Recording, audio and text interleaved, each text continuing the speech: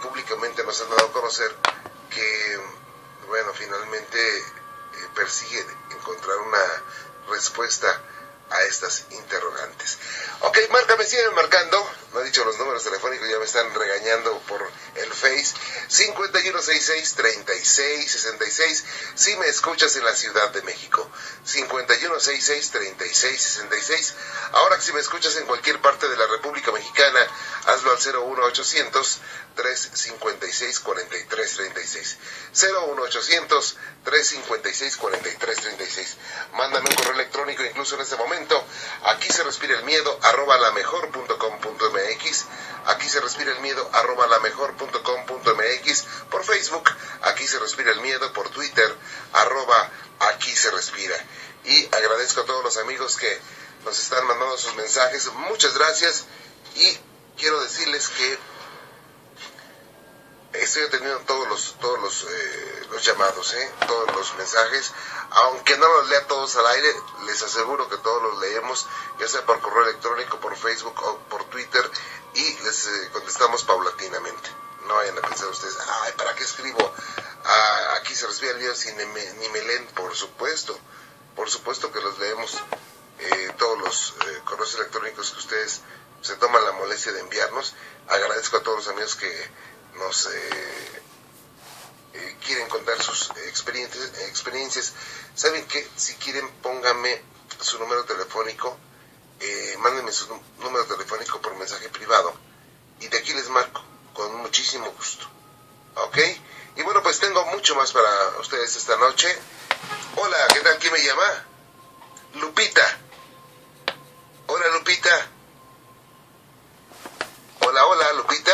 Buenas noches, ¿cómo está? ¿Cómo estamos, Lupita? Qué gusto. También el mío por, por oírlo. Gracias, muy amable. Me estoy dirigiendo ahora a mí. No, Lupita, esa es, esa es, su casa, muchas gracias. ¿De qué parte? De Acuña, Coahuila. Ah, fíjese. Muy bonito. Sí, cómo Frontera. no. ¿Y el frío qué tal? Está frío ahorita, está poquito fresco.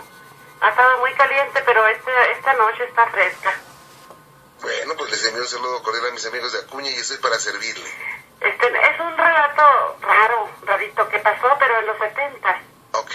Este, sabe que en aquellos años, ahorita mi esposo acaba de, de, fallecer el 6 de enero de este año. Sí. En ese tiempo estábamos recién casados, teníamos poquito. Y a él en ese tiempo le gustaba mucho, mucho el billar. Uh -huh. Entonces los fines de semana se, lo, entre semana se iba y venía como a las 10, 11 de la noche, pero el fin de semana volvía de allá como a la una. Y esa noche este, le dije, ¿quieres llevarte la troca? Dijo, no, me voy caminando, estaba como a ocho cuadras de la casa. Uh -huh. Y entonces él se va. Y pues me olvido, yo, yo de él yo tenía dos niños y yo me duermo y me olvido, sino que como en la madrugada, que no sabría decirle yo qué hora era, oí que entró pero aventando la puerta. Uh -huh. Entonces le digo, se sienta pero bien asustado. Este, prende la luz, le digo, sí, prendo la luz. Me siento con él, digo, ¿qué pasó? Ahorita te cuento, ahorita te cuento. Y le digo, ¿qué tienes? Dice, no sé ni cómo llegué. No sé ni cómo, ni, ni por dónde brinqué. Tenemos cerca. Le digo, ¿la brincaste? Dice, pues yo no sé ni la abrí. El caso es que él llegó corriendo. Entonces, este, pues ándele que me estuvo platicando que cuando salió del billar, Sí. por cierto, estaba de mi casa como a ocho cuadras por una calle derecha. Uh -huh. Al salir dice que a una cuadra de la puerta del billar, hacia enfrente de él, miró que estaba una niña pasando de un lado a otro de la calle con unos perros que la iban siguiendo. Y entonces él le faltaba una cuadra para estar con, a donde iba la niña. Uh -huh. Y pensó, dijo, ¿a qué señoras estas que no cuidan a las niñas a estas horas de la noche? Pasándose en la calle. Entonces cuando él pasó, la niña se quedó atrás de él. Dice, yo pasé cuando ella estaba hacia el otro lado de la calle, pasé por el, este lado. Entonces no la miré en ese momento, pasé caminando y me fui. ¿Cuál sería mi sorpresa? Dice que cuando iba a dar vuelta para mi casa, porque precisamente su casa es en un callejón. Ajá, Lupita, Ajá. la interrumpo tantito, déjame hacer una pausa rápido, ¿sí? Sí, ujú, No se me vaya. ujú. Gracias. Regreso, soy Juan Ramón Sáenz, en la mejor FM, aquí se respira el miedo.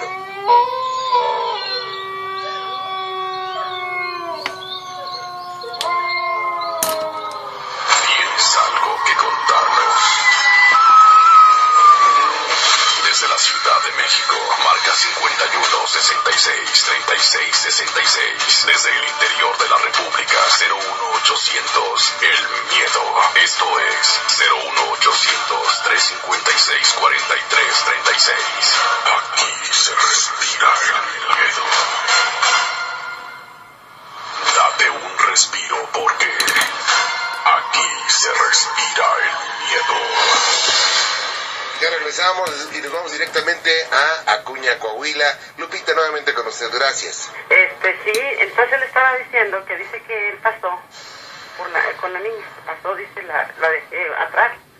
Y supuestamente la dejó atrás, muy atrás, porque cuando él iba a dar vuelta para el callejón donde nosotros vivimos, eran como unas cinco cuadras de donde él había visto. Sí. Entonces dice que cuando él llegó al, al dar vuelta, la niña estaba sentada atrás de él, que le dijo, Señor, él sintió como que le dio un toque eléctrico feo, porque nunca la sintió que viniera corriendo, ni que los perros, nada. Entonces dice que él se quedó paralizado, asustadísimo.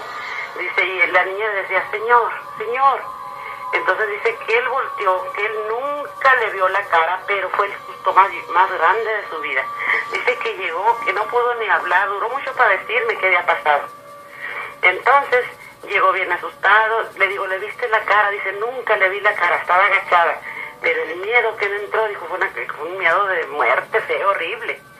Entonces, este, así quedó esa vez, él se asustó y vivió esos días muy mal porque estaba muy asustado, pero la cosa no paró ahí.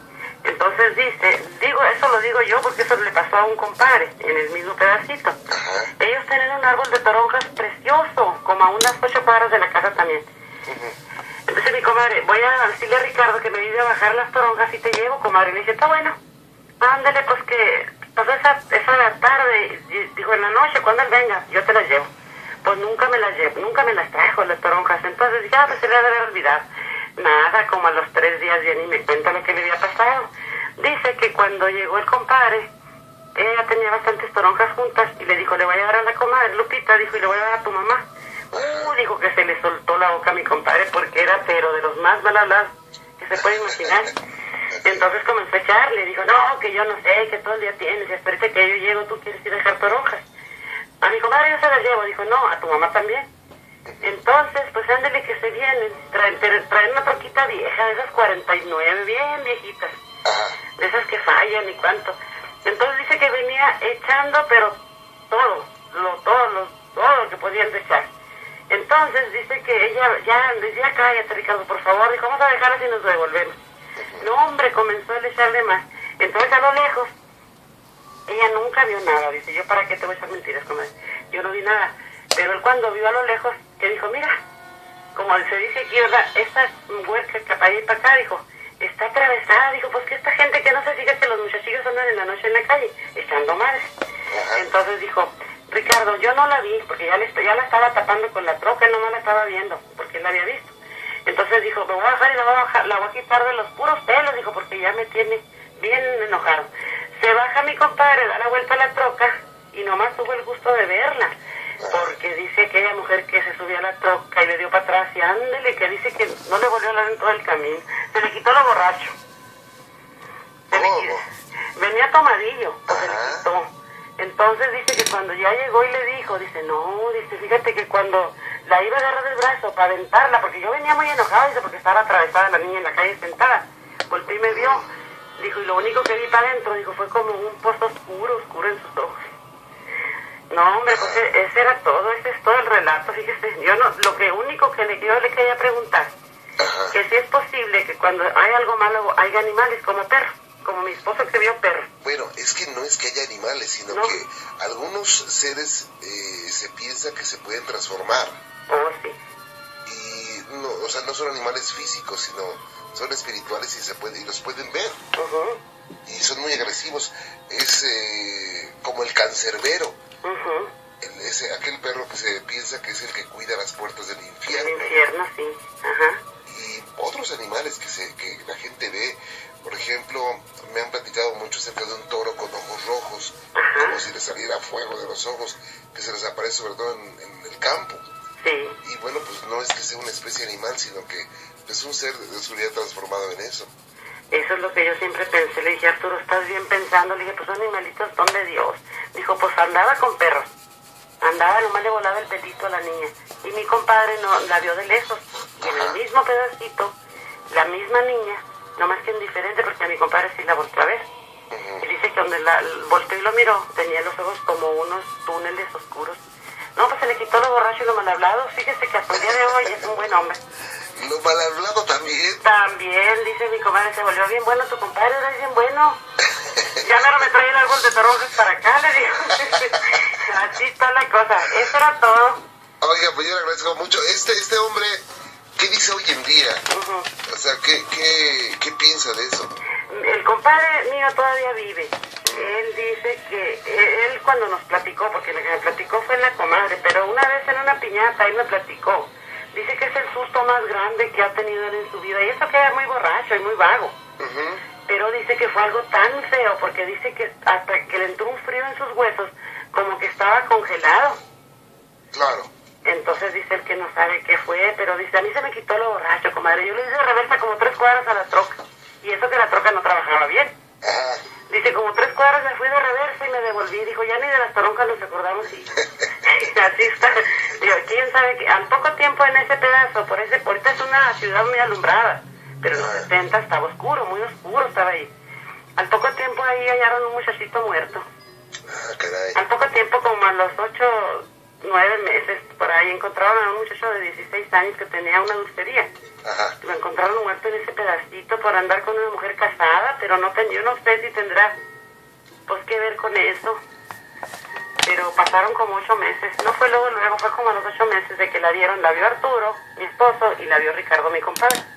Y sabrá Dios quién más la vería, porque todo el mundo decía que en ese rinconcito asustaba. Claro, y hay veces que, que pasan estas cosas y la gente no lo cuenta, y no lo cuenta porque dicen, no, que estoy loco, mejor Sí, no. ajá. Y yo todo el tiempo he tenido esa idea. de- yo quería saber de los perros, nomás, como le pregunté ya. Ah, de los perros, porque yo le alegaba mucho a mi esposo que pues un perrito es un animal de Dios, digo, ¿qué va a andar haciendo? No puede ser diabólico, pero como usted me dice, que son antes, ¿verdad? Que se transforman. Sí, sí, por supuesto. Bueno, eh, recordemos que los seres de oscuridad pueden transformarse en lo que quieran, Ujú. hasta en santos, ¿no? Así, sí. Y lo único que, bueno, pueden cambiar su voz, su apariencia, pueden cambiar su aroma, pero lo que no- único que no pueden cambiar es su vibración. Oh, sí. No son antes, son entes, ¿verdad? Entes. Ente, ¿sí? Ajá, yo me equivoqué. Sí, pues ese era el detalle, esa era la pregunta nada más de los perros. Pero pues como dice usted, sí es cierto, a lo mejor es otra cosa mala. Sí, es que eh, nos damos cuenta Ujú. de la forma en que aparecen, o sea, no tienen por qué aparecer ahí. Si fuera una cosa buena, nos aparecería así. Sí, exacto. Ay, no, qué cosa tan fea. Pues muchísimas gracias. Gracias por escucharme. No, al contrario, yo creo que cuando usted eh, recuerde esto, cuando usted ve una toronja o se come una toronja, se acuerda de esto, ¿no? Ay, Dios santo, ya no me quiero acordar. Nunca llegaron las toronjas a mi casa, nomás me dijeron. Le digo, ¿y las toronjas? Dice, pues pregúntale a Ricardo que iba como loco de reversa. El que no le gustaba dar reversa, tres cuadras de reversa de puro miedo. Tres. Y se le quitó lo borracho, lo mal hablado y se hizo muy buen compadre. Hasta el día de hoy él todavía vive. Él vive en Del Río, en Texas. Ajá. Allá se fue, se fue a regresar a vivir y tienen años de vivir en Texas. Ya está ahorita el señor grande, pues entonces ya murió y él todavía está vivo. Ajá. Y asustado. Asustado. y hay muchas historias, pero esa se me hace bien interesante. ¿Y cuál es la más fuerte que le ha pasado, eh? Eh, una vez, hace, hace no hace tanto, este, íbamos mi hermana, mi hermana la más chiquilla, yo, bueno, ahorita yo ya tengo 62 años, Ajá. pero en ese tiempo estábamos jóvenes. No, sigue estando usted joven. Y en 62 ya estoy viejita. Ya tengo todos mis, ya tengo bisnietos. Pero eso no sé qué quiere decir que esté uno viejito. Eso muchas veces lo lleva uno en la mente. Yo conozco jóvenes de 20 años, muchachitas o jovencitos de 20 años que están viejos, ¿eh? Sí, es Piensan, piensan como viejito. Y ya se portan como tal. Sí. no, y este, y fíjese que una cosa bien curiosa, esa, esa noche, le estoy hablando ya también de muchos años, este, íbamos a ir a, a la feria, me acuerdo que había una feria. Entonces dijo, pero yo también quiero después de la feria quiero ir al baile. Le dije, bueno, pues tú ya te quedas, yo ya estaba casada. Tú te quedas en la feria y vamos por ti. Y entonces empezó, dijo, no, es que no quiero quedarme sola. Dijo, quiero que ustedes también se queden. Porque yo invité también a Nena y quiero que vayamos todos. Pues ándele, la nena vivía como a una media cuadra de la casa, pero tenía que caminar un pedacito como de media cuadra